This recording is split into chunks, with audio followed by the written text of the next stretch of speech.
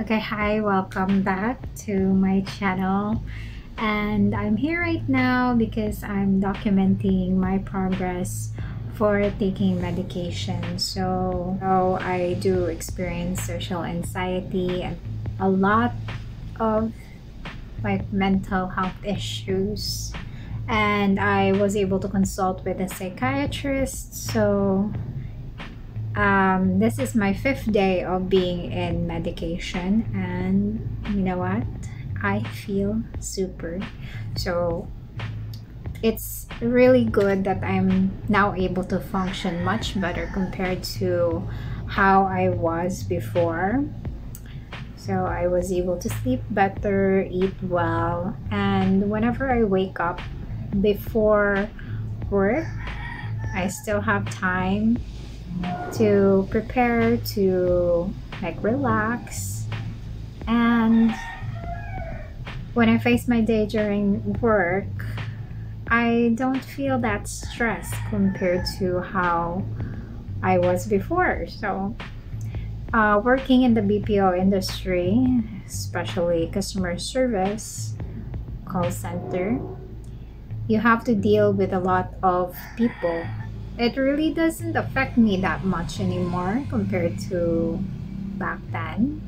Like I can move on without having to feel stressed. Um, they say you don't have to take it personal, but you can't really avoid feeling stressed out, especially if you're dealing with your own personal stuff outside of work it's really stressful and it takes up a lot of your mental um, energy. And having to face like all these negative energy around you negative people who badmouth you even if it's not your fault and also having to deal with people who kind of um, pressure you.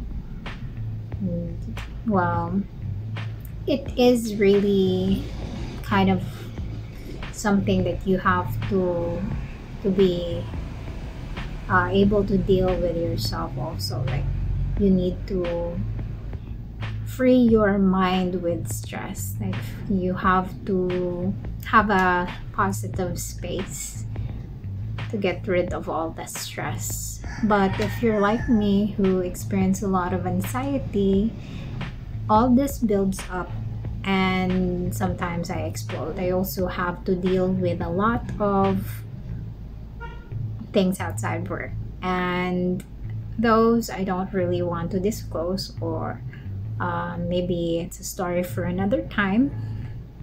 However, the medication is really helping me. So if you are needing help, if you have anxiety, panic attacks, it's really is best to consult your doctor who can provide you the proper medication that you can take. So here I am. I'm happy. I'm feeling good. And it's nice. So another thing that I like to talk about is um, people would ask how much it would be to consult a psychiatrist or a psychologist.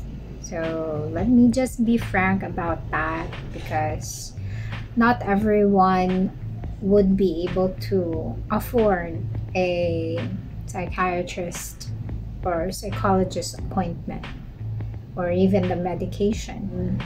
To be honest, it is costly because not only that you need to have an initial consultation for you to be diagnosed and for you to be able to be prescribed with medicine. If you want to talk to psychologists, it does cost um, 1,000 pesos per consultation. That's just the estimate and there's also psychologists and therapy sessions. I'm not really sure how much that ranges but expect it to be around 1000 plus. And also your medication. Uh, psychiatrists can prescribe you medication that are like less expensive i one of my medication is not really that expensive but one of them per tablet costs like around 56 pesos. So i need to take like 20 of them so it ranges to uh, a thousand pesos per month. If you're invested in healing yourself this amount does not really matter especially if you are working if you are like earning a lot more than the consultation fee and the medical fee. So it's always best that you are able to invest in your mental health. So that's it for me today. Thank you. Goodbye